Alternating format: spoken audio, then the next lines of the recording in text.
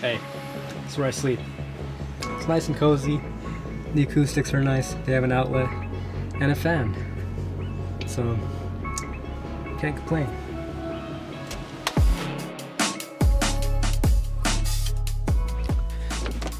Yo, what's good? It's your boy, Spyran. I told you I was back, and now I'm back. Some of you have seen my house tour parody video thing. Some of you have been asking, like, yo, why do you live in a box, bro? Because LA's freaking expensive, my guy. It's like 2400 for a studio in Koreatown. US dollars, by the way. I'm paying everything in Canadian dollars because I'm still Canadian! Team Canada, yeah! Hockey! I love my maple syrup and winter. Imagine paying 30% more for everything on top of tax, which you've yet to pay. That's my life right now. I love I love it. Why do you live in a box? Even when I showed my, my family the place, they were like, okay, cool. Bruh. They see people are hard to impress. And then they see where I sleep and they're like, No, no, no, no. I mean, hey, it's not that bad, bro. You have a fan, you have an outlet, it's a twin size bed, you got a nice curtain. What more do you want? Honestly, I'm super grateful to have found this place because when I booked my flights to LA, I had no plan in terms of where I was gonna be staying. So I went on this app called Couchsurfing, and then I was like, yo, what up? And then one dude, his name was Saad, he was like, yo, I can't keep you at my place for like that long. But there's this place you should check out called Eddie. So I did. There's like a vetting process. You have to be like an ambitious creative to, to live here. Apparently I fit that, that role. So it took a, a little bit to get approved. My first night in LA, I stayed at uh, Airbnb, like hostel bunk bed situation. You see the pictures here. This was the ghetto. Like this is as ghetto as it gets. It was $30 a night. That's more than what I'm paying right now. And it's just like, yo, I guess this is what it takes to live in LA. And then the second day I finally got a tour at this Eddie place. I freaking loved it, bro. They got pots, pans, salt, pepper, laundry, Wi-Fi, furniture, a gym, offices. Like, what more do you want, man? But still, they had to like go through my Canadian background check and stuff. So. The second night in LA, I stayed at the Roxy Hotel. This is the most tacky hotel. It's not even a hotel, it's a motel. Like, they got some nice 1969 bed sheets and a single outlet a single dual outlet, one of which was taken up by uh, the fridge. So that was my second night in LA, getting nicely introduced to the hard knock life. But then I got in, I got into Eddie, bro, it was sick.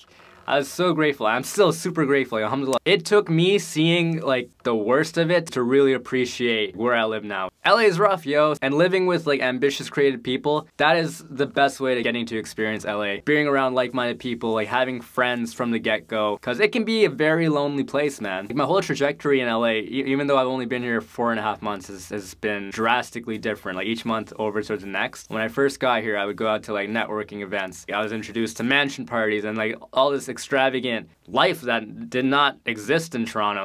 It was super cool. Uh, and then over time, you know, living in Hollywood, I didn't get a chance to be around many like-minded Muslims and like like people that like keep you grounded and, and, and, and stop you from chasing materialistic things and stuff like that. So I started to feel very lonely. Even though I was surrounded by people all the time, I was really missing like being around my own people, you know, people that like shared the same beliefs as me. It's not everyone wants to go chill out at the bar or a club. Like, I'm not about that. And so I started hitting up random Muslims that lived in LA. Some guy, at Kurum, actually responded to me. He's like, sure, come out to this Friendsgiving thing. And I went to this Friendsgiving, which had like over 200 Muslims. The Muslims in SoCal are like this tight-knit community, like everyone knows each other. So if you have a bad rep, then you're screwed. I don't think I've, I've gotten to that point yet, hopefully. That's when my trajectory really changed. Did a lot of dope things. I got to meet all these great people, went to these super cool events uh, like Vid Summit, like the Streamies. Fun story about the Streamies. Uh, I met Jay Shetty for the first time. I had to ask him, like, yo, you had an insane trajectory on social media. Did you have like a team around you that like helped build you up, scale you, and, and, and all that? And he's like, no, I built everything on my own. And, and people think that you need a team that can like skyrocket but honestly, that's all on you. You pushing out the content and, and just being genuine and expressing your truth. That's what will get you there. And then once you're at that point where you need like help from business development and, and whatnot, but like before all that is even needed, you gotta put the work up front, right? You don't need anything from anyone. When I first moved here, my roommate Ryan told me this in the very beginning. That advice really resonates with me today. You really don't need anything from anyone. Work on yourself, forget the external, focus internally, and just do the best that you can do. Like you don't need a helping hand. You can do anything you want on your own. You don't need to rely externally on people. Another cool thing I learned is like just being around genuine people. I have this friend Callan, super talented actor from Australia. Like one of the most important lessons he taught me was just be genuine. Like whenever I would go to him for like advice on how to network or talk to people or approach people because I was new here, his first response would always just be be genuine, be you, be yourself. And I never really had a good grasp of what that meant. I, I, didn't have a tight hinge on who I was at that point. And over time, like that again really resonated with me. It's like just be genuine, be you, and then you you'll have nothing to apologize for or worry about because you speak your truth. You are you're, you're being you're comfortable in your own skin. You're being yourself. And if people don't like it, then that's on them. It's better than putting on a facade that that's not real and people can see right through that. So I've learned a lot of great lessons in LA. I'm, I'm trying to like truncate it